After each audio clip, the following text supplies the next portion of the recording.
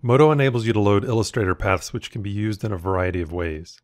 It's important to remember to save your file in an Illustrator 8 file format in order for Modo to read it. Once saved, you can simply use the File Open command to load the file into Modo.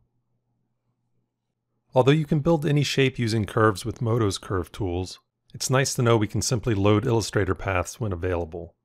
The paths can be edited after they're loaded and can be used for both direct and procedural modeling. Curves don't render in Modo unless you take advantage of the Render Curves option found in the Curve subtab of Item Properties.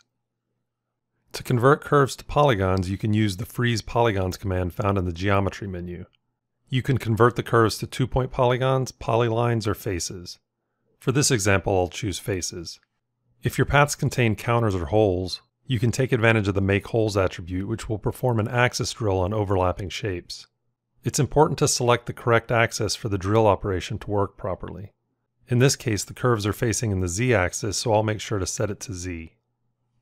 If we disable the Subdivide Curves with Fixed Spans attribute, we can manually adjust the curve refinement angle setting, which defines the spans that make up the resulting geometry based on the angle of change between spans. This enables you to gain control over the amount of verts created in the freezing process. You'll find the setting in the Freeze dialog as well as the Curve subtab properties.